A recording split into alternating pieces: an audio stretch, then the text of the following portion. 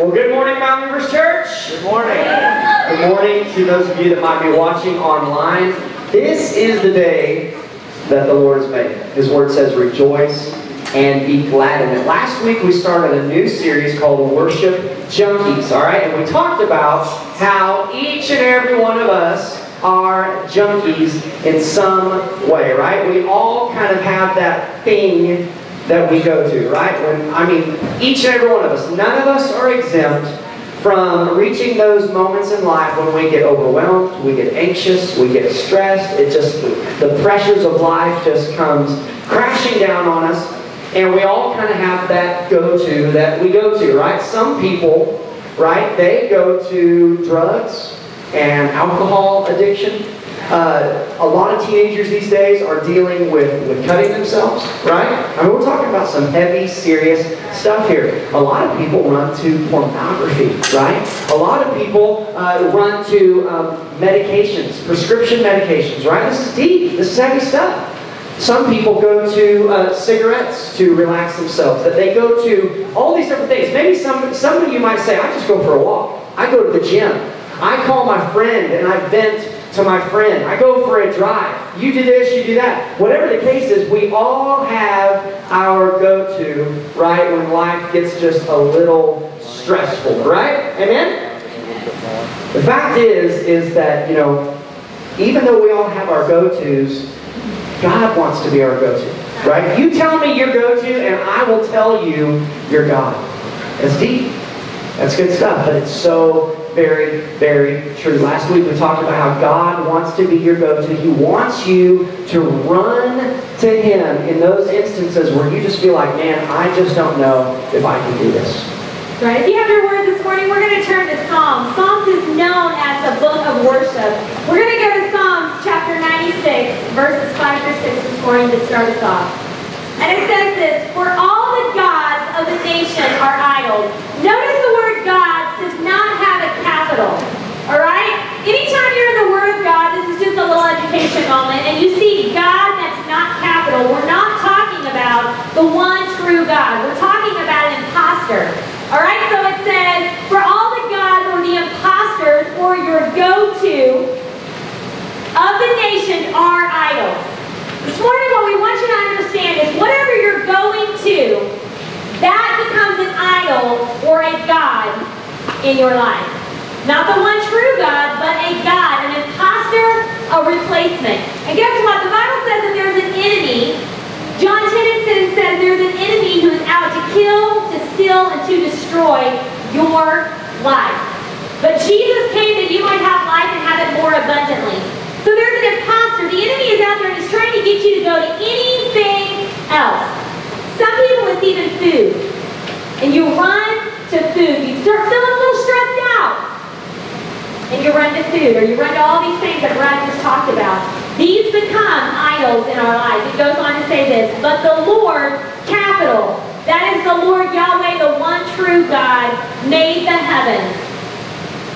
There we go. Splendor and majesty are before him. Strength and glory are in his sanctuary. Everybody say sanctuary. Sanctuary. Do you know where you are today? Sanctuary. You are in his sanctuary. So what's in his sanctuary? Strength and glory. The enemy wants you to go to the imposter. He's always out to trick you.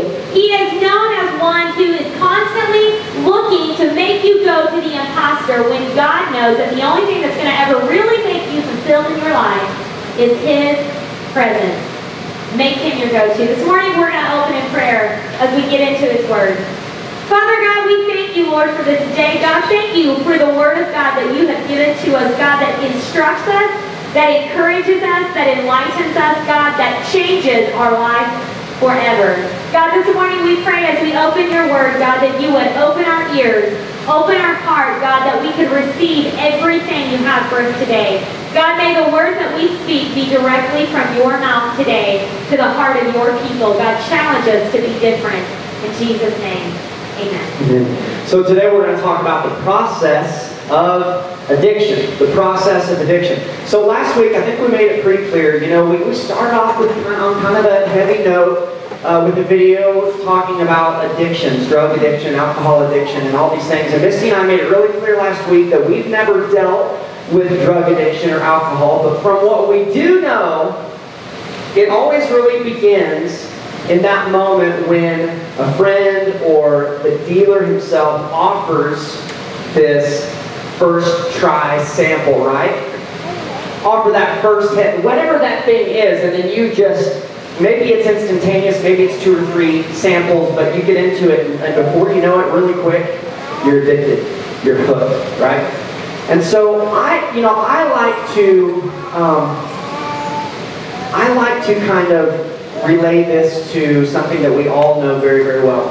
And those are the sample ladies at the grocery store. because,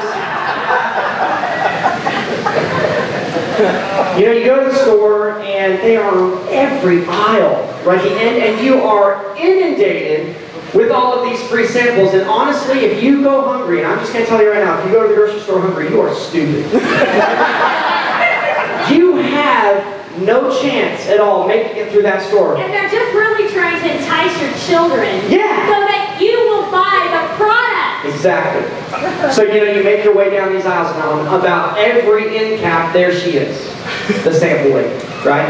And she's got her little booth set up, and she, you know, you know, there's all sorts of different samples, but the ones that really get you are the ones like when they have the electric skillet and they're like frying something, and like the aroma, just the smell is just hitting you in the mouth, and you're starving because you're stupid. And you're at the store, and it's like, what on earth? Okay, so they give you these samples, and, and how many of you guys know that they only give you one sample, right? It's kind of rigged. They only give you one sample and then they like have to cut you off. They cut off your supply, right? They give you your first hit, you're addicted, you gotta have this, and now they're saying no more, sorry. You're gonna have to buy it. But it's conveniently located behind me in the freezer, and today it's $2 off. Well, how can I resist? It smells good, it tastes good, I'm still enjoying the savory flavors trickling down my throat. I haven't even digested it yet, and you're sharing the discount with me. I have to buy this. I have to put this in my cart. This is going home with me, right? It's crazy. And kids. Oh, take your kids, leave them at home or in the car in the summertime. Roll the windows up. He's kidding.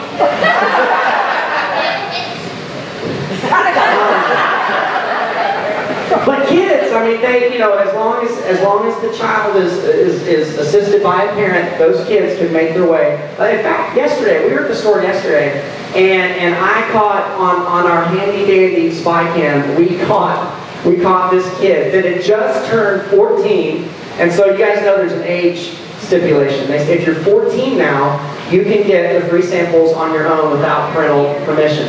So we caught one yesterday uh, at the store. Check this out. Caught him on the spy cam.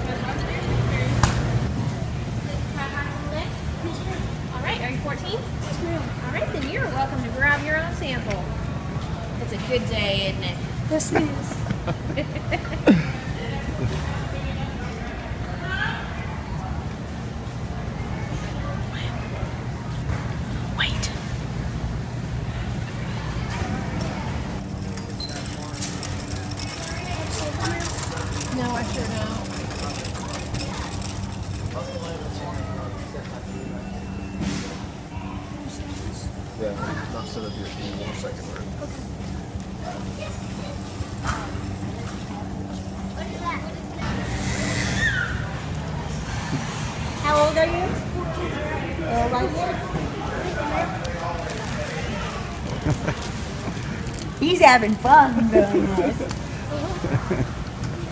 like I'm 14, I had to pick it up later. I'm out of here.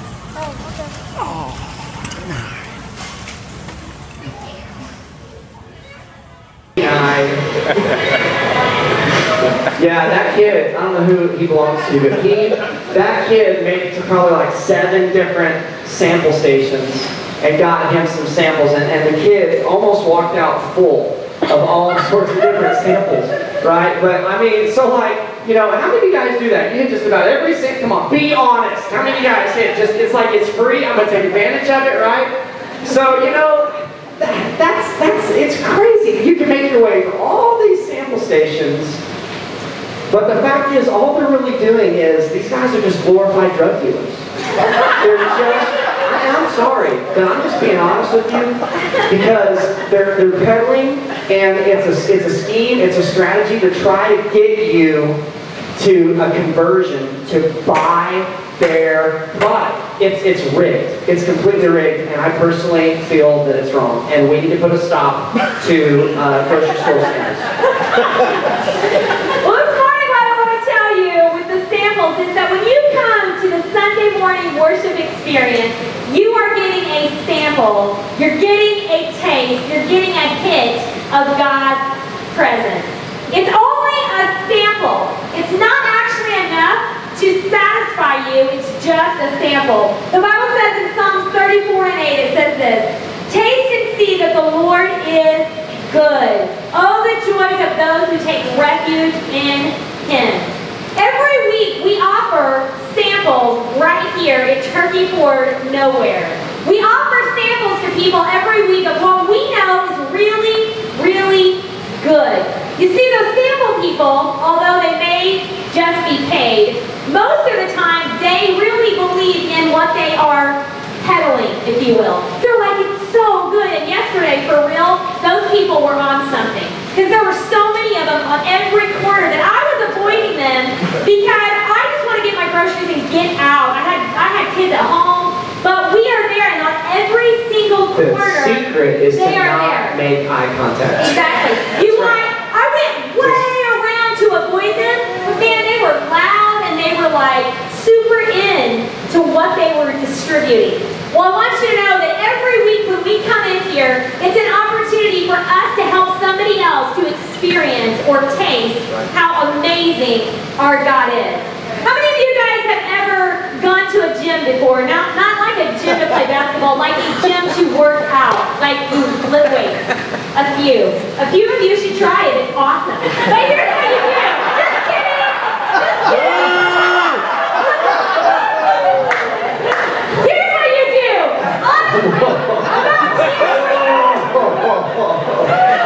Honestly, about you. All right. At the beginning of every year, everybody has this New Year's resolution to lose weight and get fit. No matter who you are, that is always January 1 rolls around. That's everybody's goal. All the gym memberships go up for January. Well, let me tell you, after you go and you buy your cool outfit so you don't look stupid going in, right? You get there and what do you do? You see all these machines and you see the few like junkies who are addicted to the gym. And those junkies, man, they're in there lifting, they're running, and you're like, you don't need to be here. Like, you already are fit. Why, why do you keep coming back? But they're addicted. And what it does for us is it gets us all excited, and we're like, yes, I can do that right there. And you get on that treadmill and you start running. And about two minutes in, you're like, oh, I'm dying. I look good in my Yes. outfit, but I'm dying. But you keep going back because those people inspire you. And those people are like, man, you're doing a good job. They encourage you. and they motivate you to do what you know you need to do. I want to tell you a long time ago, like back in 2005, Oh, this is a good story. Brad and I used to travel all the time. All the time we traveled doing kids camps. You know why we love camp. We did them. We would travel all over the United States doing camps.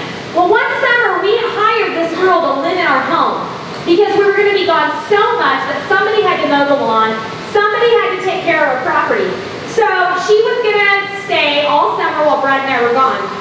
Well, I happened to be home, and I was going to work out because that's just what I do every day. So I put on, this time I didn't go to the gym, I was going to put on a video. Buns of steel.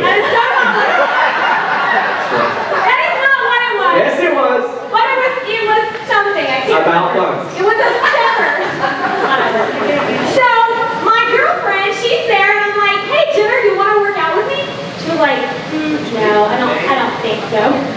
I hope you watch this. This Jenner. I'm gonna send this directions. It's a college buddy of mine. So she's like, "No, I don't really think I want to." And I'm like, "Come on, no, I don't want to." Okay, whatever. So I kick it on because who wants to like be working out while other people are watching you? That's just weird. creepy. It's creepy. But anyway, I put it on. She kicks back on my couch. Wait. And she puts her feet up on my table. Well, not, like not, this. that was after she went. Hold on. Then she gets up. I'm gonna tell. I'm like drenched with sweat. Believe it or not, I'm expecting our second child, and I worked out for all that. She's a so like, beast. I'm like carrying Tyler, and I'm working out doing this stepper aerobic thing, crazy, sweating. All of a sudden, I smell popcorn. Okay, seriously. This is not a joke. This is for real. I'm like dying. I'm like, do I smell popcorn? Who's doing that to me? And all of a sudden, here comes my friend Jen. Back in here Oh, with this a is giant true. bowl of popcorn. It was awesome. Sits back down, throws her feet up, and pops. I mean, like throws it in her mouth while I'm dying, working out. All right? Now listen to me. I get done, shower up, Brad and I leave. We're headed out. We come back a couple hours later, right? And we hear something in the living room Something dying. something going. I'm like, what is that? Is a cow dying in our living room? What is wrong with that? We, we, we like, we thought we knew what it was. So we unlock our house and we tiptoe in. And there's my Yeah. friend Jenner.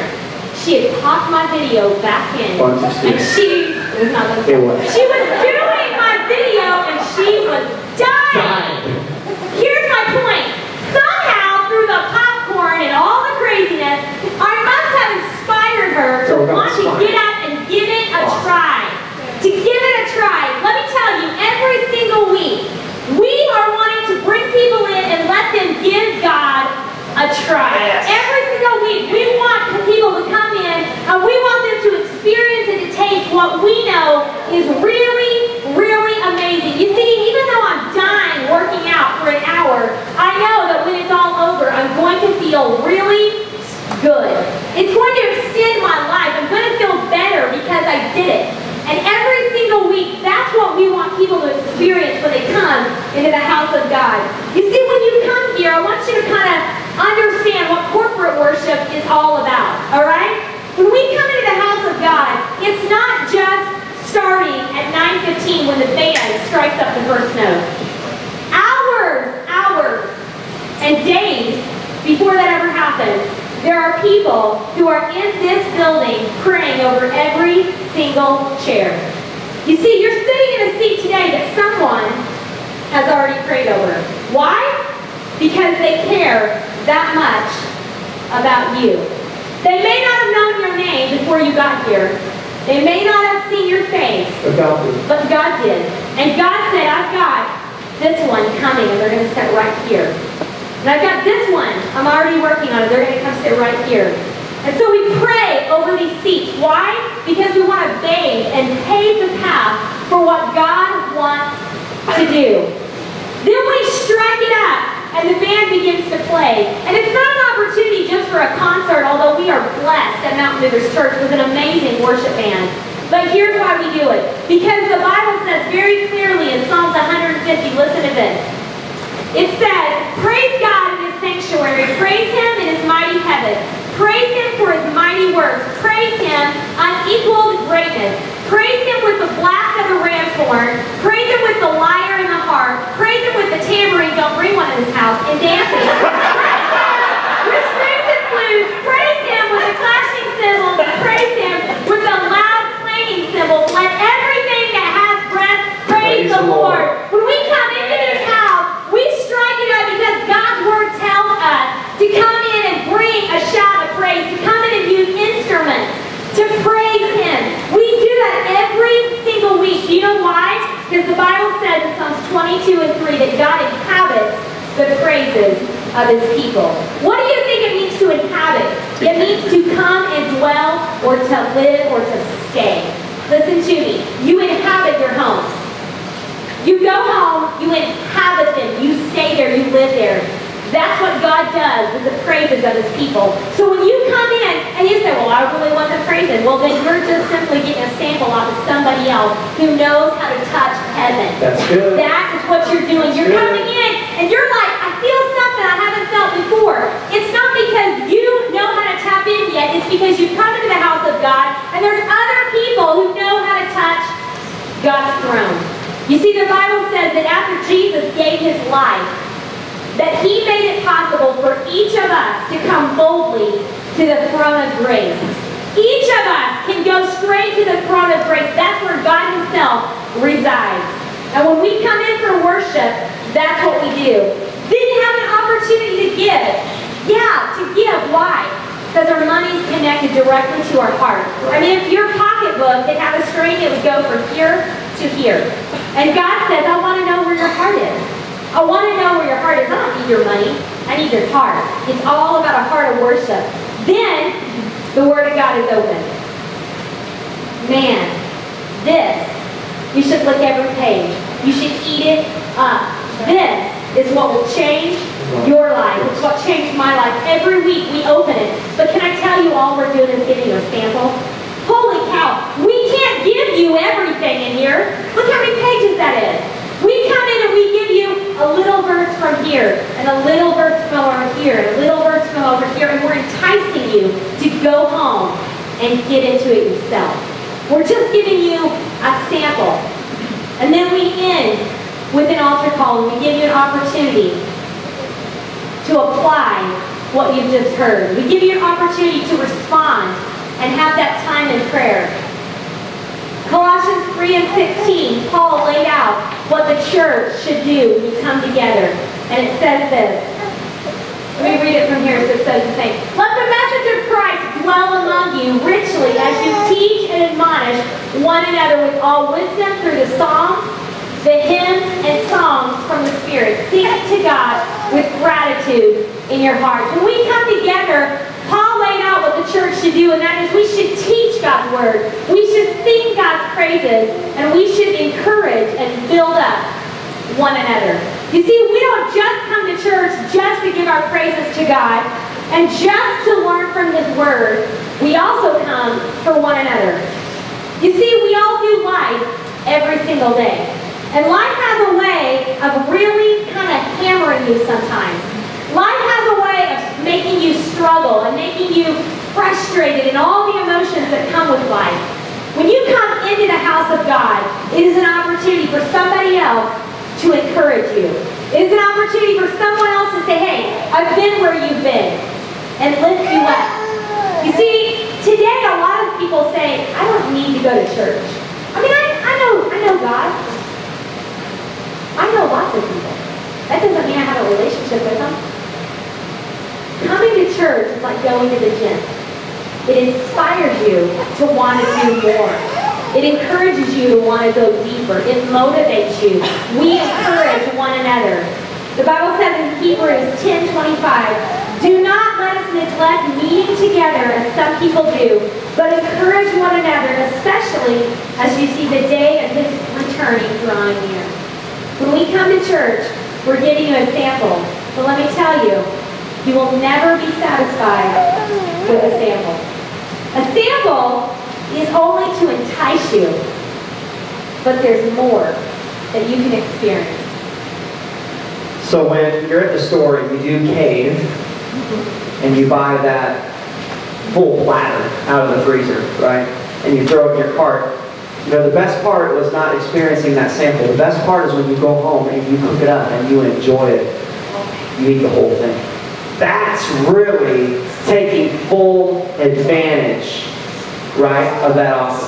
And like Misty was saying, this is an opportunity for us to come together, to encourage one another, to lift each other up, to get into God's Word, to experience His presence. But it's just a glimpse of God's glory. And really, here's what God wants. He wants you to get the whole platter and take it home and enjoy it for yourself. Because I'm telling you, worship is way more than just what you experience maybe in 45 minutes here in His house.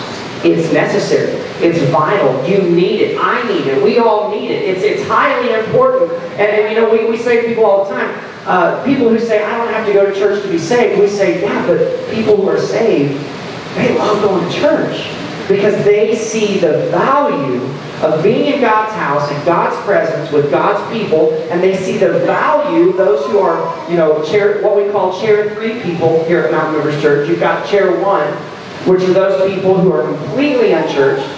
You've got chair two, which is that person that's a brand new believer. They're just a baby in Christ. They don't know much of anything. But then you've got the chair three guys, and they're like, no, I wouldn't miss an opportunity to be in God's house because I know that I, have got to be in God's presence with God's people, and I know that God has given me gifts and talents and abilities that I can use for His kingdom to make God's kingdom bigger and better. That's what chair three people say to themselves. And so that's really, I mean, we're nothing but, but, but sample ladies. Misty and I. That's right, we're sample ladies. And, and we are trying to get you hooked. We are trying to get you addicted in this worship experience and getting a taste of God's Word. We're trying to get you your first hit.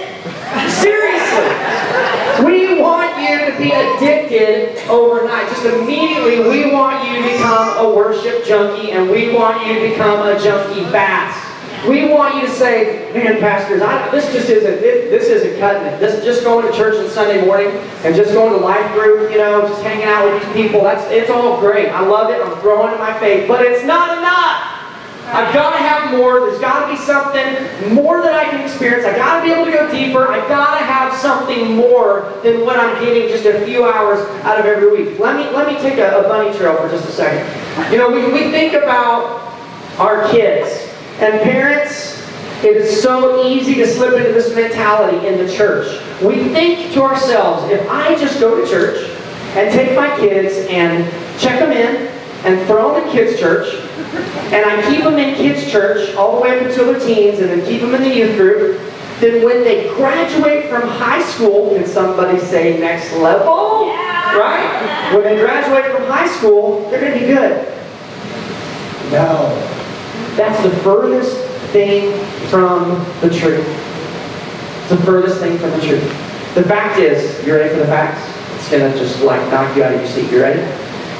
Statistics say that 87 to 90%, this is according to Dawson McAllister, he took this survey years ago, but it's still, still the same today.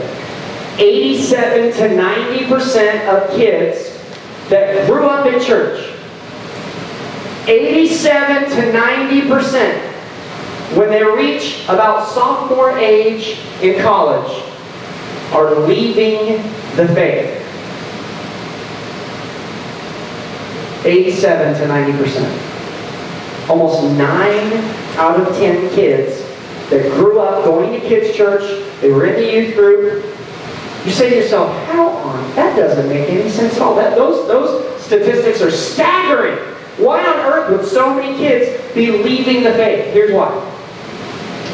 Because going to church a few hours out of the week is just a sample. The fact is, if you want your kids to grow in their faith, if you want to grow in your faith, you got to be a worship junkie. Right. You got to move past the free samples because samples don't satisfy. Right? I mean, how stupid would it be to go to the grocery store during your lunch break and walk around and get, you would not be satisfied. Eventually, you're going to have to just get the whole meal and go home and eat it, right? Same way in your faith. You can't throw your kids in kids' church and you yourself can't sit in here on Sunday morning or even be in a life group and expect that you are going to be a spiritual rock star. Right. What's going to have to happen is you're going to have to take it home. You're going to have to get in God's Word. You're going to have to learn to pick on some worship music and just dig into God's presence.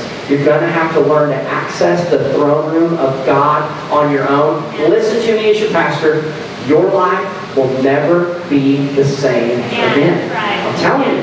You can go to church your whole life, right? And you could stay just chair two. You could stay just a baby believer. You could just stay on that milk. Right? How many of you guys would love just still being on the bottom? What's your favorite kind of formula? Tell me. What's your favorite formula? Because if you're just going to go to church on Sunday morning and just go on Wednesday night and never go any deeper, when He has so much more for you, you're not going to go any deeper, then you might as well just consider yourself to be that baby in the high chair, sucking on a bottle, enjoying that formula of faith, right? You're going to make heaven. It's okay. Relax. You're going to make it. You're going to make it to heaven. You're going to make it. Yes, buy your riches. You're going to make it. But who are you taking with you? What kind of contribution have you made to the kingdom? What kind of difference have you made in people's lives? God has something greater. And really it all spawns from being a worship junkie. We're taking it home and getting into His presence. I love Joshua, one of my favorite characters of the Bible. Have many, but he is one of them for sure. Because Joshua was a worship, worship junkie. He was addicted to God's presence. See, Moses met with God face to face. He had a really great gig with God. He was meeting him face to face on a regular basis, and Joshua was like, I want something. I want to, I want to experience what it is that you're experiencing. And Moses was looking for someone he could kind of pass the baton to and say, hey, I need somebody. My, my time is almost up here. I need to pass it along and give it to somebody else. And one day when Moses was over there hanging out and, and, and they were in the tabernacle in the tent, you know, God's presence was so thick and everybody was leaving. Everybody was going back to their tents. And Moses walks away and guess who's still in the tent worshiping God? Joshua. Joshua's still there. Inside, it says in Exodus 33 and verse 11, inside the tent of meeting, the Lord would speak to Moses face to face as one speaks to a friend. How awesome is that? Afterward, Moses would return to the camp, but the young man who assisted him, Joshua, son of Nun, would remain behind in the tent of meeting. Why? He was a worship junkie. He couldn't get enough of God's presence. He couldn't get enough of hanging out with God. Because I'm telling you, seriously, guys, when you get your first hit and when you get addicted, you cannot get enough. Right? Check out this chick on the front row, Brandy. She's so amazing. Like she came to us wounded and broken and beat up. She thought she was saved, and then she had a come to Jesus moment and realized that she wasn't saved. Right? And she became addicted to God's Word. And now, anytime night or day, you can find her in the bathroom on her face with the Word of God because this girl is a prayer warrior. She is addicted to God's Word. And God has completely remodeled her life to the point to where you cannot even recognize her anymore because she is a worship junkie. She's a worship junkie. You want to see your life never to be the same again, you've got to do the same thing. You've got to dig in. Psalms 22 and verse 3 says, You are holy, oh, that inha- oh you that inhabit the praises of Israel. Check out Hebrews 4 and verse 12. It says, For the word of God is alive and it's powerful. It's sharper than the sharpest two-edged sword, cutting between soul and spirit, between joint and marrow. It exposes our innermost thoughts and desires. God's word is pretty cool. You get into it and you start to have this supernatural experience. You're human, you're flesh, you're on this earth, but oh my word, you have this like out of this world experience when you communicate with the creator of the universe. And it's amazing. I'm telling you, if you've not experienced what I'm talking about, it is amazing when you just filter your life, set aside time to get along with God, and just move into His presence. There is nothing like it. Jesus himself, Luke chapter 5 and verse 16, it says, Jesus often withdrew to the wilderness for a time of prayer. Constantly. Now you say, he was God. Yeah, but he understood as, as the God man, as the Son of God while he was here on earth, the only way for him to have power was to get in God's presence. You have a cell phone? How many of you guys plug this thing in at night? Or your iPad or whatever it is you use, whatever device, you plug it in, right? Why do you plug it in? To get it recharged so you can have power for the next day. If you want to have power in your life, you've got to plug in to God's presence. You have to. Sunday morning and Wednesday night is not enough. I'll never forget. I'll never forget when I got that. I'm telling you guys. When I figured that out, right? I went to church off and on my whole childhood, through my teen years, and then when I was 19 years old, I got serious about God because I got a glimpse of His glory. I figured it out. I figured out that there was something more than just the Sunday experience and the Wednesday night experience. Those all were great, great pillar points of my life. Those were wonderful. But I began to understand that I could get alone with God. I could shut everything out. I could get on my face. I could get in His Word. And the more I began to read His Word and just shut up and slow down and listen, He would begin to speak to me through the pages of His written Word supernaturally. God, the creator of all the universe, would begin to speak to me. And He would show me things. I'm like, you talking to me? Seriously. God would show, and then I began to have dreams. And he would show me things about myself, or about other people, or about ways that he wanted to use me. This isn't because he called me to be a pastor. This is because he, he's called me to be his, his child. And he wants this for you, and he wants this for me. There's, there's a deeper place for worship junkies when you dig into God's presence. And I'll never forget, I was at I was at kids camp at River Point, and there was a night service, and um, man, I'm telling you, I was just learning in my walk. I was really learning how to dig into God's presence and the corporate worship experience. And here I am at this kids camp, and there's all these seven to nine year olds, just a sea of them, and I'm down here in the middle of them, like Goliath, and I'm bawling my eyes out in God's presence, and God's Spirit just just overwhelmed me. Like I just couldn't handle, I couldn't handle it. It was just so thick. God's presence was so thick. I went back to the dorm that night and I kept praying. And I was like, I don't, whatever this is, I don't want it to ever stop because I feel amazing. Like I feel so at peace. I feel like nothing, like no matter what could go wrong in my life right now, it wouldn't matter because this is like what I'm wired for. I want to never ever leave this moment because I'm like hanging out in the throne room of God. I don't want it to ever stop. Next, the next day, uh, camp was over. I went home, and what did I do? I made an altar out of my couch, and I buried my face in that couch, and I prayed. For the first time, I prayed for like an hour. I didn't know how to pray like that. But I didn't want to stop. I read his word, and I prayed, and I prayed, and I read his word, and, and then I peeled my face out of the crease of the cushions. And I was like, this is the best thing I've ever experienced, ever. And I learned from that moment, when I became a worship junkie, I learned that every single morning I wanted to experience that. I wanted to seek the face of God before I ever would see the face of man.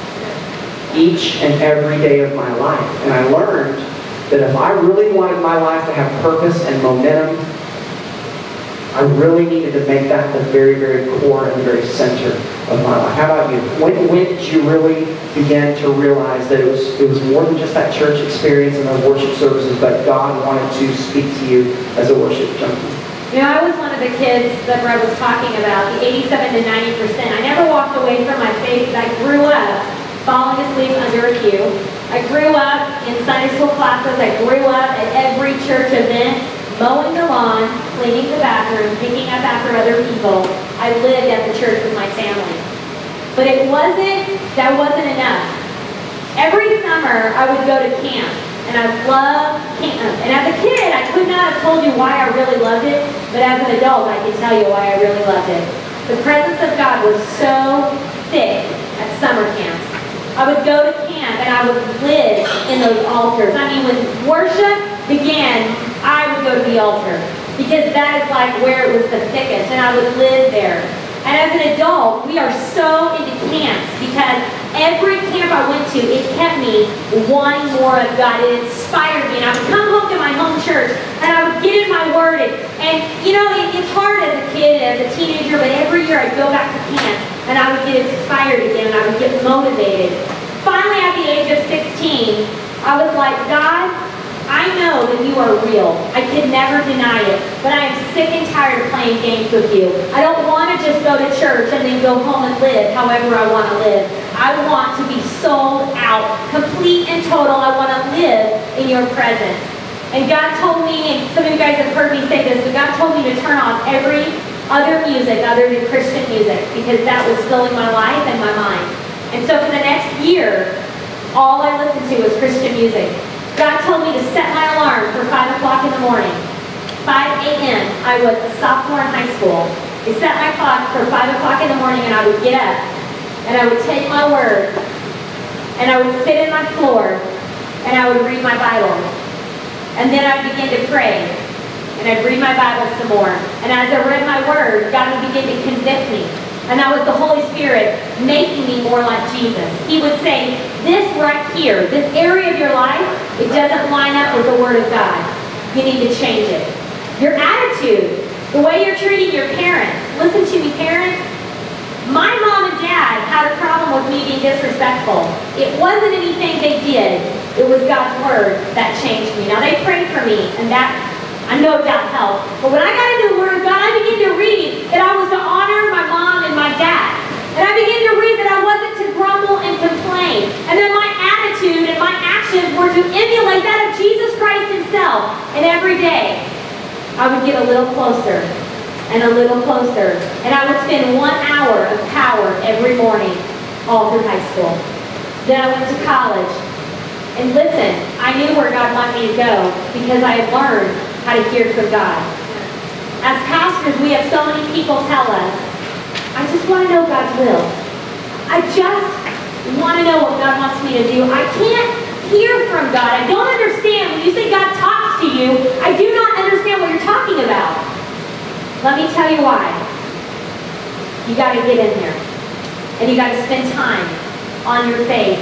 Listen, it's so easy to get on Facebook and Instagram. It is so easy to let 30 minutes, 45 minutes go by while you scroll through other people's lives, their comments, and their drama. I love social media. Nothing wrong with it. But if you get sucked into it, it's not going to change your life. You get sucked into this, you will never, ever be the same. You see, what we do here at church is we set the example. At home, you should do the same thing. And we, we tell you to do it like this. If you've never done this, I challenge you to the 15-minute challenge. And it's this. Five minutes of worship. Choose a worship song that you love. Find it on your phone and turn it on. Close your eyes and shut everything else out. Listen to me. If you have to find a closet, like the war room, or you have to go to the bathroom, because that's the only quiet place in your house, and you can lock the door. I'm telling you, you find a quiet place, and you turn that worship on, and you close your eyes, and you begin to tell God how much He is worth. Begin to thank God for everything He's done, and you'll say, I don't know what to say. Listen to me. Let it come from your heart. It won't be that hard. Then you take your word, and for five minutes, you begin to read your Bible. As you do, begin to say, God, open my heart and open my mind, just like I say every Sunday, to receive what you have for me today. Because God wants to feed you guys. God wants you to hear from Him. And then you close your word, and you get on your face, and you close your eyes, and you begin to pray. And you begin to speak directly to God Almighty, the creator of the universe. Beginning, maybe you don't know what to say. But I'm telling you, the more you read God's Word, the more you'll learn how to pray. Because you begin to pray the Word of God. It becomes half of what you say is right here. You begin to declare the promises. You begin to pray for people you know. You begin to understand what God has for you. And then you stop. And you stop talking. And you listen. The Bible says to be still and know that I am God. The reason so many people cannot hear from God is they never stop talking. You want to hear from God. When you get done with those three things, you just stop. And you just close your eyes and you just listen. Maybe he won't talk to you the first time. Maybe not the second. You keep doing it. And I'm telling you, God's beginning begin to speak to your heart. Maybe not in an Maybe just in your mind, is begin, begin to deal with you about things. And then you begin to apply it to your life, and I'm telling you, you're going to take on a new form. You're going to take on a new look. You're never going to be the same again. You know, so often when we come to God, we think, I have to give up. If I become a Christian, I got to give up a bunch of junk. I, I got to give the things I'm addicted to. And man, I really like this, or I really like that. You can't imagine giving it up. Let me tell you, you're not giving up anything. You're replacing those things in your life with something so much better. Something you can't even fathom. But I challenge you to try it. You'll stand up with us this morning. Nothing greater than becoming a worship junkie. If you'll bow your head and close your eyes this morning.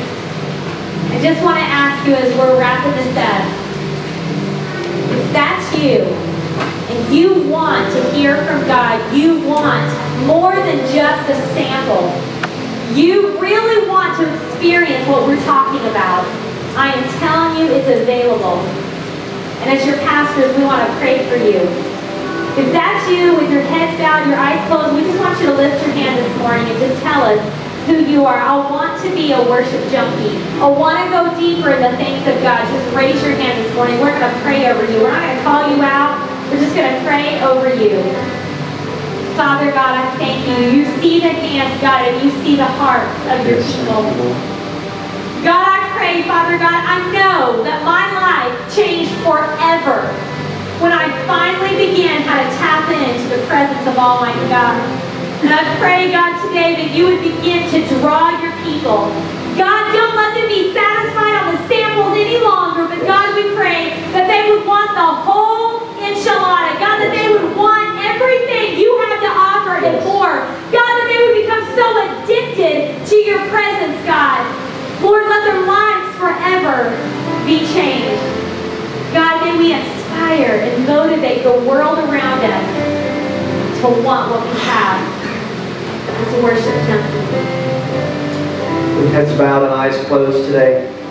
Some of you would be saying this morning, you'd say, Pastors Brad Misty, I, I'm really just kind of that chair one person that you were talking about. I love the idea of being a worship junkie. I, I, I realize that these samples that I'm experiencing this morning are, are just samples and they don't satisfy long term. I want to go deeper in my relationship with you. I, I want to have that relationship that secures my salvation in heaven so that I can experience that deeper dimension of, of what it really means to be a worship junkie. And so this morning we would say to you that this is your moment. This is your time to receive Christ as your personal Savior. He loves you and He's drawing you right now by the power of His Spirit, by the power of His love that He displayed for you on the cross. He is calling you into a real and life-changing relationship right now.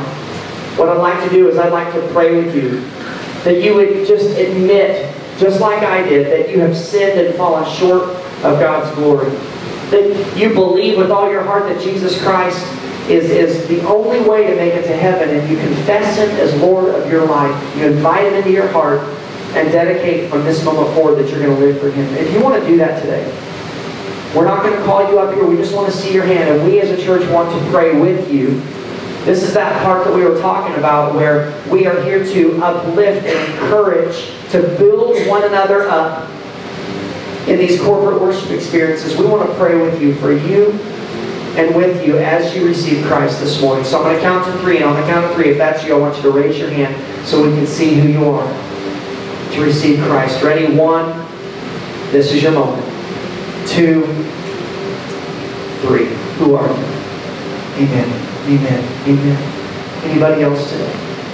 Thank you, Lord. Thank you. See your hand. Thank you. And that goes for those of you watching online. Pray this prayer with us as we pray with you this day to receive Christ as Savior and King of our lives. Lord, I love you. I thank you for Jesus. I know that I've fallen short in sin. Forgive me, God. Cleanse my heart. Make me clean. I believe beyond the shadow of a doubt that Jesus saves. He is the only one that can rescue. I confess with my mouth. Jesus Christ is Lord. I dedicate from this moment forward I dedicate from this that. I will live for you, God, I will live for you. according to your word. According to your Surround me with godly people. surround godly people. Make your house my home. Make your house my home. Make me a worship junkie. Make me a worship In Jesus' name. Everybody said, Amen. Amen. Give a hand to those who received Christ today. Amen. Hey, thanks so much for joining us today. If you want to be a part of something bigger than yourself, give to our ministry. We've made giving easy here at Mountain Movers Church. If you have your smartphone, just text the number 918 223 8090. Just push in the amount you want to give and push send. It's that easy. If you don't have your smartphone, not a problem. You can mail your giving just as easy to 24000 South 660 Road, Grove, Oklahoma 74344. Thanks for watching today. Hey, remember, we're dreaming big for you. We'll see you next week.